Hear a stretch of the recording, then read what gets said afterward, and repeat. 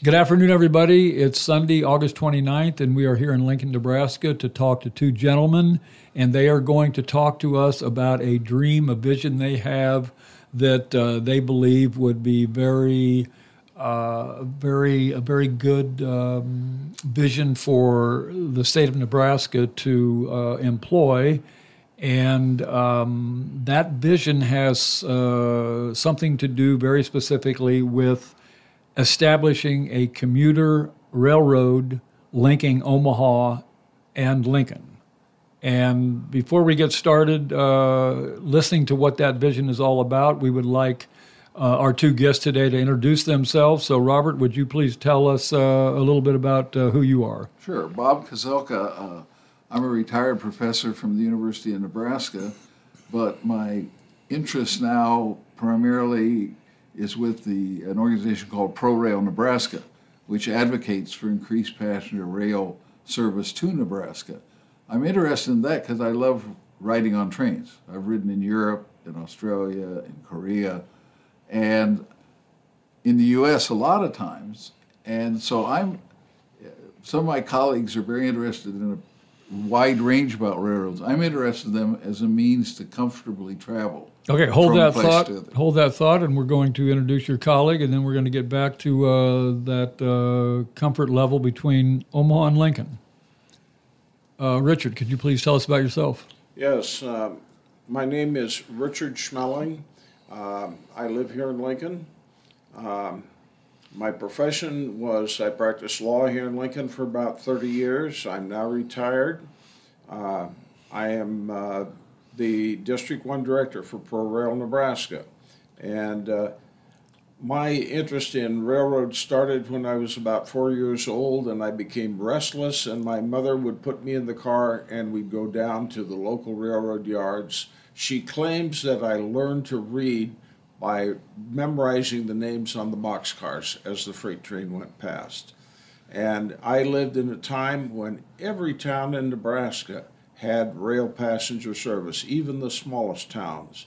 Today, we have very little good public transportation in Nebraska, very few options for people, so I'm interested in getting a commuter rail system between Lincoln and Omaha to give people a choice. Okay, good. Then we're gonna we're gonna talk about that. Uh, we're gonna talk about why do you think this makes such good sense from your standpoint?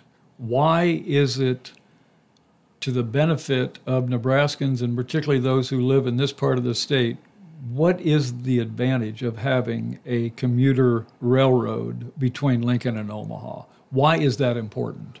Bob, you answer first, and then we'll get to right. Richard. Well, just because of my work in ProRail Nebraska, anytime I tell someone I'm in ProRail Nebraska, they t- ask me, when is there going to be a r- commuter rail between Lincoln and Omaha? That's the first thing people think of when they think of railroad here. So, as I learned more and more and heard that more that that really is essential. I drive between Omaha and Lincoln, and and the three lanes on the interstate have made no improvement in how you get to and from Omaha and Lincoln. I talk to people all the time. Uh, just last week, one of my colleagues said a friend of mine's moving here from Japan, and they want to know how to get what sort of public transit, what sort of rail is there between Lincoln and Omaha because they're going to live in Lincoln, work in Omaha. What do I tell them? None. Hmm. So I want to change that. Okay. Uh, Richard, what is the advantage? What is the advantage from where you sit? Instead of having a third lane to Interstate 80, what is the advantage of scrapping that idea and going with a commuter railroad? Why is that a good idea? Well, because railroads are number one, the all weather mode. We know the interstate can get shut down by storms we know that the interstate gets shut down when you have auto accidents. The railroad is on its own right of way, and the trains may not run exactly on time, but they'll get through. So that's a very big advantage. The other advantage is that if people are riding the commuter trains, it can be productive time. When you're driving, you shouldn't be working with your computer, you shouldn't be texting, you shouldn't be even perhaps even using your cell phone. But when you're on the train, the trains will have Wi Fi. You can work on your computer uh, or you can just simply relax. but uh, it's it's time that can be potentially very productive. Okay, and and uh, we are talking about, according to statistics that were just released last week, that essentially seventy percent of Nebraska's population is confined to three counties: Lancaster, Right. Sarpy, and Douglas. Yeah, and, and there's a, this huge hub at both ends, and they need interchange. They need to hear, uh, I want to go to an opera in Omaha, and I don't want to drive anymore. I'm 83. So I'd like to be able to get on a train, go there, go to the opera, and come back home. And, and I can't do that now. And in the, if we're going to see growth in Nebraska, we're going to have to see better transportation potential between Lincoln and Omaha, and that's not spelled C A R. Okay, and Richard, can you uh, add another layer of wisdom to uh, that uh, that remark? I think so because uh, we used to have, uh, before Amtrak and the private railroads, we used to have things called football specials that would bring people from Omaha to Lincoln for the football games and take them back home. And during the Burlington era, we had as many as four or five special trains. And that shows the ability of rail to move large quantities of people over distance uh, with minimal infrastructure. And I can move as many passengers per hour on a double track railroad line as you can on 16 lanes of interstate highway. So it just makes sense to have the mode that's going to handle the better density. Okay, so we're talking about numbers, and according to the data that came out last week, in the last ten years, Sarpy, Lancaster, and Douglas County have added 136,000 people in those counties. The other 90 counties in Nebraska combined lost a thousand people in the last 10 years. So all of the growth is in these three counties. And you see that as more compelling evidence of why, instead of adding a fourth lane to the interstate, it makes more sense to add a commuter railroad. Is that uh, cost? Is that cost effective? Well, is that it- going to work? I was going to say that in addition to just the big population, in two surveys we've done with the Nebraska State uh, Survey of, of Analysis, uh, we put in questions in that about a train between Lincoln and Omaha, commuter train. Both times, statewide this is. This isn't just Lincoln and Omaha. It was like 88% one year and 89% the next time, 2016, 2020. So it's, it's more than just Lincoln and Omaha people that want it. It is a statewide desire. You're saying that a survey that's how old? Uh, one was 2016 and one was 2020. So two, uh, two, two different surveys, both within the last five years, have indicated overwhelmingly that those respondents to the survey would like to see rail Right. service between Omaha and Lincoln. And they're respondents across the whole state. This is done by the Bureau of Sociological Research. Yes, and they are very, uh, It's a very, very- well respected. yes, very well equipped to do that kind of uh, information. What um, at this point, since we're citing statistics uh, about the density of traffic, and people would much rather be uh, sitting there with a cup of coffee and their laptop uh, and not looking at an 18 wheeler changing lanes in front of them. Uh, what do you see as we sit here on August 29th? What are the three biggest obstacles as to why we're talking about this in the future and not talking about it as something that's already happening? there's a myth that when you have a rail system, that the rail system has to be tremendously expensive. And that's true if you're building a new high speed rail system and you have to condemn land and build a whole new right of way. The beauty of Lincoln to Omaha is that we can use the existing Burlington Northern Santa Fe Railway track. And so we have track and signaling already in place. That's the track that has the Amtrak trains that come through Nebraska. It's good for 79 miles an hour. And so about all we're talking about is we're talking about buying some rail equipment of some kind to run on there and do a little station work. We can use the stations in Lincoln and Omaha. The Amtrak stations are perfect, but they're only busy at night when the California Zephyr comes through. So hmm. they could be used during the daytime for the commuter trains. Okay, so we're talking about a railroad line that already exists between Lincoln and Omaha, not one that has to be built. It's already there. It's owned by Burlington Northern. Is Burlington Northern an obstacle in making this happen, or could they be a potential partner? They can be a potential partner. When Senator Morfeld introduced a bill in the legislature in the, the 2000 session, before he introduced the bill to study commuter rail, he visited with Burlington Northern Santa Fe and said, if we were to do this, would you be willing to accept the trains on your line? They indicated that because the coal traffic has dropped down, they now have excess capacity. And they said, since we're going to have to maintain this track for Amtrak at 79 miles an hour anyway, yeah, we'd like to have some more trains. A- Another myth is, you know, you're going to reduce my flexibility of travel. I, I'm not in control anymore. And if you look at the reasons why the 41,000 people that make trip or 41,000 trips that are made between Lincoln and Omaha every day, a vast majority don't move around once they get to where they're going. They work or they do something like that. And both Omaha and Lincoln have, I would say, average to above average public transit systems. I think Omaha's even moving a little beyond that, and Lincoln recently has done that.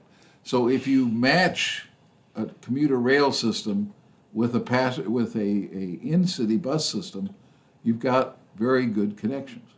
Okay, so if you project out all of this in terms of the, the cars that are needed to be on that railroad owned by Burlington Northern and the bus system that would be needed to connect the destination point with various parts of the city where people work, is there a number that you've come up with that a commuter rail link between these two cities would ultimately cost? I do not have that number. Uh, I will tell you that, you know, the devil is in the details, and we aren't even to the point where we can talk about the nuts and bolts of the system. The first step is to get the state to say, hey, we need this, let's study it, let's find out if, if it's feasible, and then we start getting to the point where we talk about how many car, train cars do we need, how many runs do we need at what times of the day and then you can start putting some cost figures And and the bus systems are already underway. You know, they're there. It would just take some maneuvering of their schedules and routes to, to meet what is needed. Mm-hmm. And the track's already there.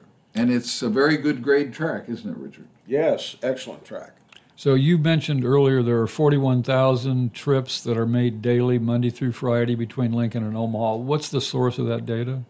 Uh, that is from the Department of Roads Transportation Study.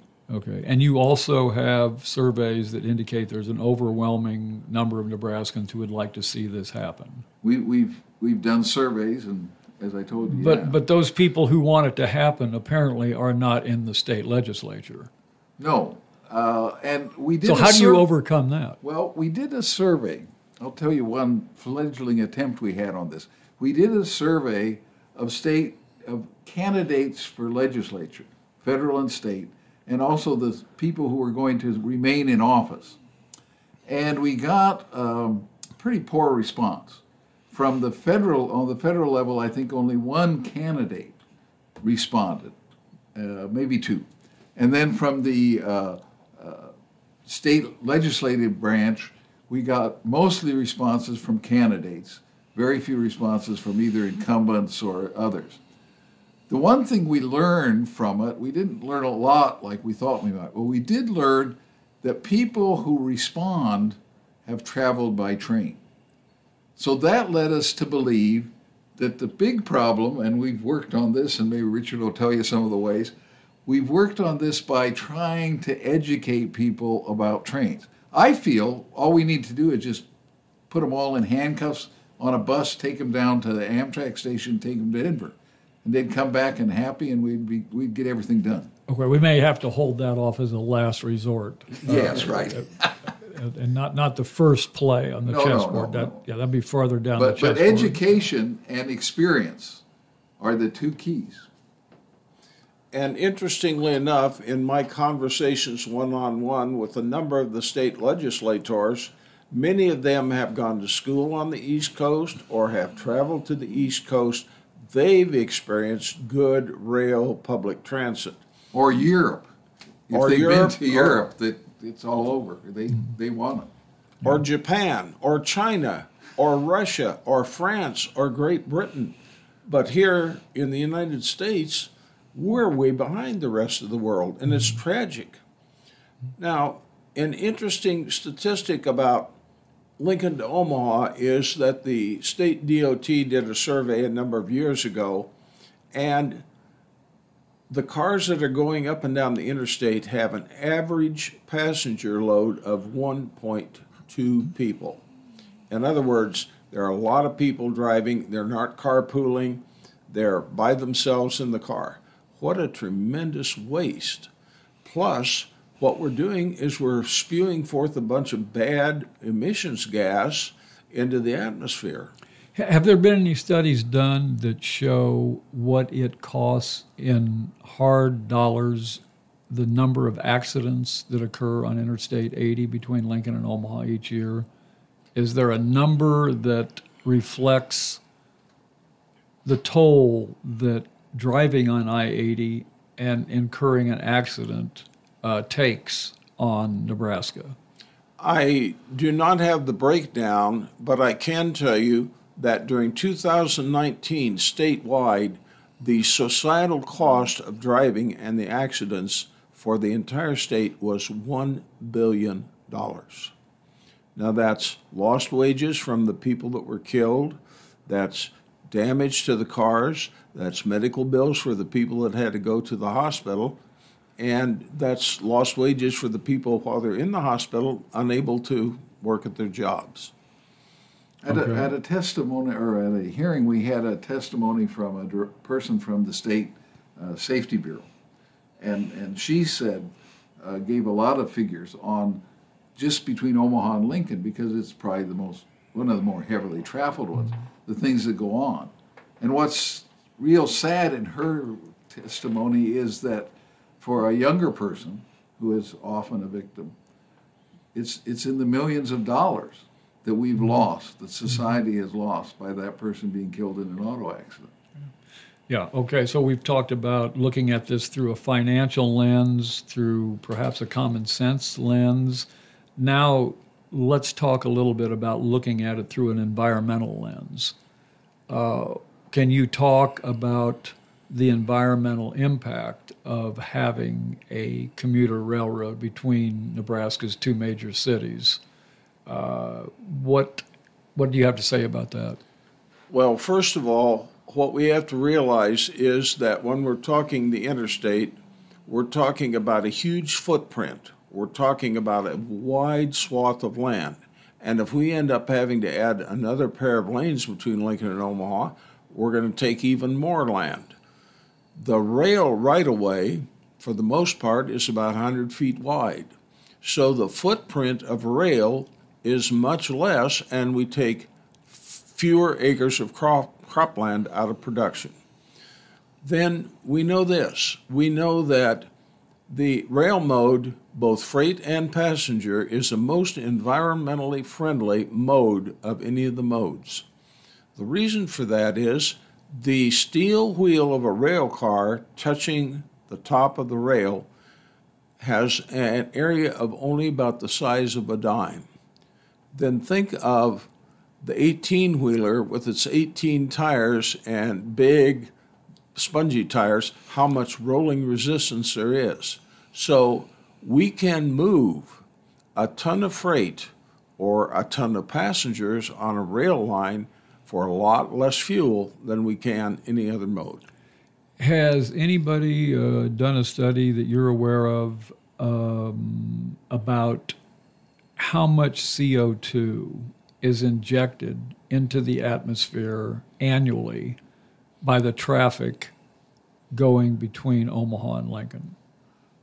Not exactly, but I can tell you this, and I think it's real important for all Nebraskans to realize this. That is, that it used to be that coal generating power plants that generate electricity were responsible for over 53% of the bad emissions. Then we've seen a shift where we're, the coal plants are being shut down, they're going to alternate fuel. Now, transportation creates over 50% of the harmful emissions in the United States. And Okay. also, the, the State Department of Environment and Energy, as it's now referred to, does keep track of, of emissions and about what's happening. And certainly the Omaha or Douglas County Public Health, the Lancaster County Public Health have those sorts of things, and DOT does. Hmm. DOT has to do it to satisfy, you know, the environmental quality agencies at the federal level. Well, we know that Omaha, North Omaha specifically, because they uh, they they marshaled this out by zip code. We know uh, definitively that Yeah. North Omaha has the lowest life expectancy rate in Douglas County. And if you talk to the people at UNMC, they will tell you there are two reasons for that.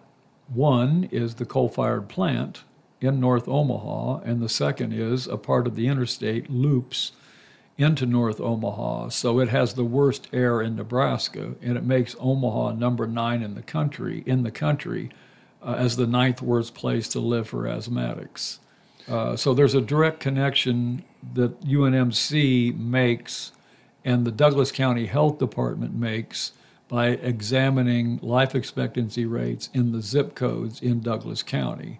Uh, so there's there's that uh, as well. And, and and you're as a passenger in a car, you're exposed to that because you're pulling in the air. If you're traveling in a controlled environment like a railroad, you know they can put in air filters as they do, and and you're not getting outside air. You're getting air that's been run through certain sort of cleaning devices. We know for a fact that two years ago, State Senator Adam Morfeld introduced a bill along the lines of creating this commuter railroad between Omaha and Lincoln. We know that this legislative session, Carol Blood, uh, state senator from Bellevue, introduced. So we have a Lincoln senator and Omaha senator introducing similar legislation. Neither one of those bills got out of committee. Why is that, and what is the solution Well, to I, getting it out of committee? I guess I'll go back to the comments I made about the survey we did of candidates and of incumbents in the legislative branches. And they're, I don't think the, they're well aware of what we're talking about. They aren't aware of the huge economic impacts that rail and commuter rail can have, not only on the two cities, but everything in between. And, and we aren't going to get into that in detail now, but it happens. And so it, it's a matter of educating them. Uh, and also, it's a matter of trying to put that in the upper part of their interest level. You know, in other words, there are a lot of things they're faced with dealing all the time. And passenger rail is not one of them. In fact, I'm always surprised at the number of state senators that are amazed when I tell them that we have Amtrak trains through Nebraska twice a day and have had for, for years, you know. So, is there a strategy that you are aware of uh, or that you have developed to up the education level on the committee so it can get out and get on the floor for a vote? What's the strategy that can make that happen? Well, first of all, we have to dispel the myth that this is going to be so expensive that the state can't afford it. And we have a model, which Bob mentioned. It's called SMART. That's Sonoma Marin County uh, Transportation District. They have a line that runs about 70 or 80 miles, which is comparable to Lincoln to Omaha.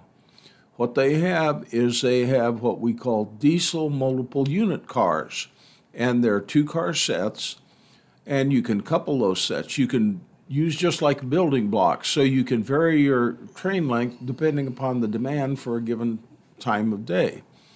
And we think this would work real well for Lincoln to Omaha. And at a luncheon last year for the senators, we had a rather extensive presentation that showed pictures of the smart system, of the shops, of the stations, and so on. So, what we really need to do is just show people what's out there. And it's everywhere except in Nebraska. Well, so, and we have changed our strategy a little bit. Uh, prior to last year, we had usually an annual meeting, and it was to talk about Nebraska's involvement in sort of a regional structure. And we won't go into the details of it. It's a good structure, but we won't dwell on it, and we weren't getting anyplace. So that's when we decided, after our survey, we need to educate. So last year was our first attempt, pandemic and all. We delivered lunches to their offices, and we had about 20 senators or their staff members take part in a one hour session where we talked about SMART, we talked about other things about railroads. So, you know, here we sit in the university campus, education. Yeah. Okay. All right. And, Um, and the other thing I think is we do work with individual senators. And Richard is our, le- we have two lobbyists, Richard and the president of our organization. And Richard is the penultimate, you know, every morning when you open your door, there's Richard asking about rails. And that's needed. You know, it's, it's not a, a simple thing to get people to change tracks. Yeah.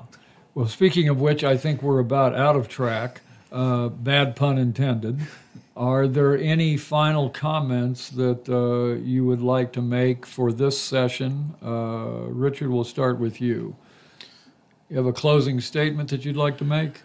I do. And my closing statement is that I have ridden the bullet train in Japan from Tokyo to Osaka. Uh, I've ridden uh, the subway system in New York City. Uh, I've ridden trains in Canada and in Mexico. And so I, I've seen what's out there. And I just like Nebraska to you know, become modern and have something similar to what we see everywhere else in the world. And that's my dream. I hope I see it in my lifetime. Okay. And my dream is to have more people join our organization, not just to join our organization, to, but to become advocates for what we've been talking about. The, the next chance coming up will be the 24th or 25th of this month, the Saturday. Uh, and we'll have a board meeting and people can zoom into it. They can search ProRail Nebraska, P R O R A I L Nebraska, and, and just put that on your Google or whatever search you use, and it'll take you to it's a train website thing, but it's just ours. Uh, yeah, it's uh, trainweb.org and then ProRail Nebraska. And it's a wonderfully simple, non sophisticated site. Best kind. They can go to our website, which has a lot of very basic information, and they'll be amazed what is going on. And we need them to join us. Not, not necessarily as members, but to join us in the effort, because it's going to take a few people, you know, and we get 20 down there camping out on an unknown senator I won't mention the name of, and maybe they'd think differently. Okay. All right. Excellent. We really appreciate you taking the time to go over uh, this, and uh, uh, we will do this again sometime when we have a little bit more information and it's a little farther down the track. Uh, we'll come back and do this again, but for now, we thank you very much. Thank you.